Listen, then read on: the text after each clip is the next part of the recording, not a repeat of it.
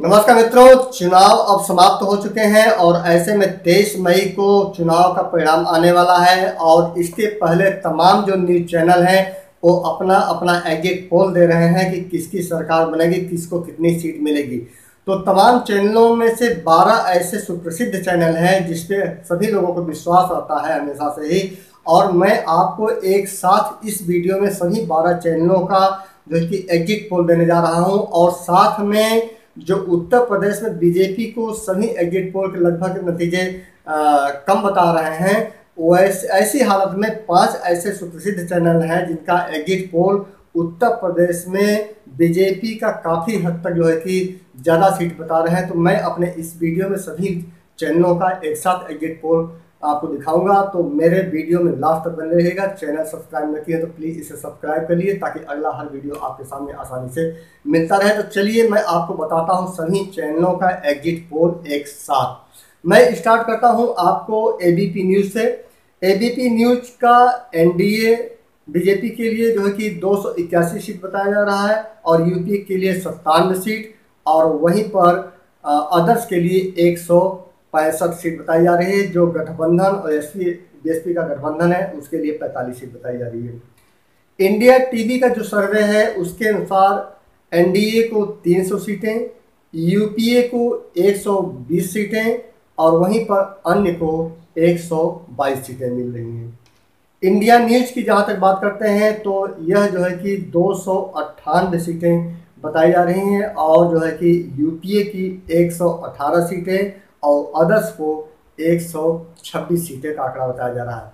News 18 की बात करते हैं तो 336 सीटें बता रही हैं एनडीए की और यूपीए की दो सौ बयासी सीटें और अदर्स की 124 सीटें।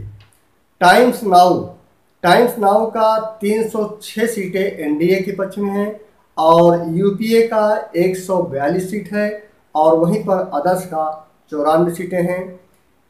News 24 Today Chanakya.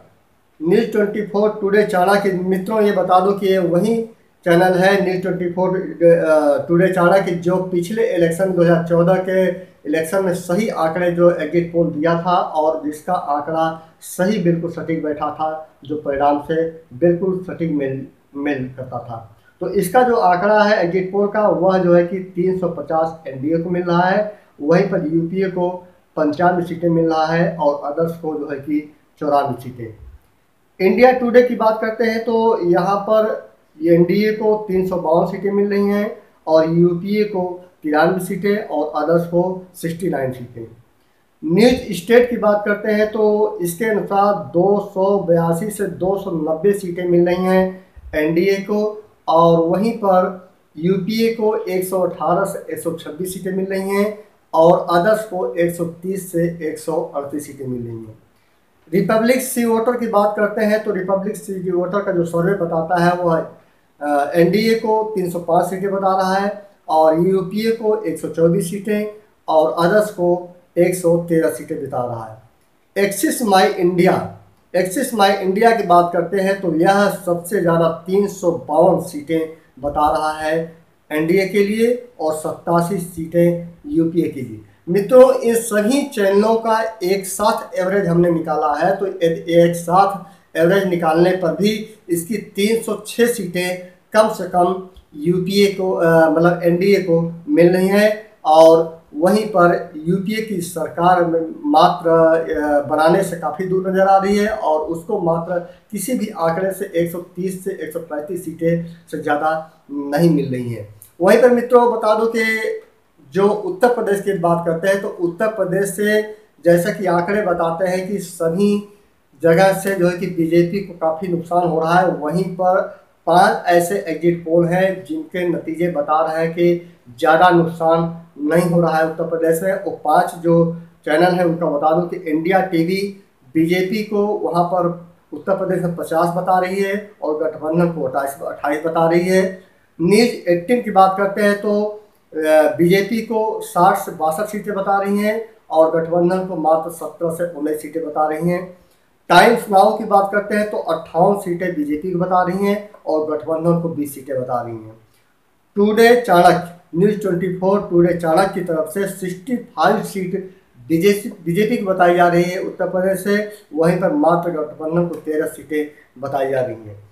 India today की बात करते हैं तो बासठ से अड़सठ सीटें बताई जा रही हैं उत्तर प्रदेश में बीजेपी की और वहीं पर गठबंधन के 10 से 16 सीटें बताई जा रही हैं। और न्यूज़ स्टेट की बात करते हैं तो गठबंधन को अड़तीस से चालीस सीटें मिल रही हैं और जो है कि तीस से पैंतीस सीटें जो है कि बीजेपी की मिली तो मित्रों, ये जो उत्तर प्रदेश पाँच चैनलों के जो नतीजे हैं यदि इसका एवरेज लेते हैं तो जैसा कि लोग बता रहे हैं और अन्य एग्जिट पोल बता रहे हैं कि मात्र पैंतीस से सैंतीस सीटें मिलेगी। वहीं पर इसका एवरेज निकालते हैं जो प्रसिद्ध चैनल हैं, जिनका जिसमें से टुडे चाणक्य भी शामिल है, जिसका एग्जिट पोल पिछले बार सही हुआ था, उसने पैंसठ सीटें बताई है। तो इस तरह से एवरेज कम से कम पचपन के लगभग आता है। तो पचपन सीटें उत्तर प्रदेश से बीजेपी को मिल रही हैं। अब जो नुकसान पिछले लोकसभा चुनाव में तिहत्तर सीटें मिली थी, जो नुकसान यहाँ पर उत्तर प्रदेश में बीजेपी को हो रहा है। यह नुकसान की भरपाई बिहार और पश्चिम बंगाल से होना तय है, क्योंकि ममता बनर्जी के गढ़ में, जो किले में पहली बार बीजेपी ने सेंध मारने में कामयाब हो गई है, वहीं पर जो है कि वहाँ पर लगभग पंद्रह से सोलह सीटें मिलना तय है। वहीं पर बिहार में सबसे ज़्यादा अच्छे नतीजे आ रहे हैं कि एनडीए प्लस को जो है कि सीटें जो मिल रही हैं, पैंतीस से छत्तीस सीटें या चौंतीस से छत्तीस सीटें मिलने के पूरे आसार हैं। वहीं पर जो लालू यादव पार्टी है, राष्ट्रीय जनता दल, उसका सफाया होता तय नज़र आ रहा है। तो इस तरह से मित्रों, सारे एग्जिट पोल के नतीजे पर यदि हम गौर करते हैं और परिणाम निकालते हैं तो निस्संदेह जो है कि एनडीए की सरकार बनती नज़र आ रही है और एक बार फिर प्रधानमंत्री के रूप में मोदी का चुनना तय हो गया है। तो उम्मीद करता हूँ मित्रों के वीडियो आपको पसंद आया होगा। अगले वीडियो में एक नई जानकारी साथ तुरंत मिलता हूँ। तब तक के लिए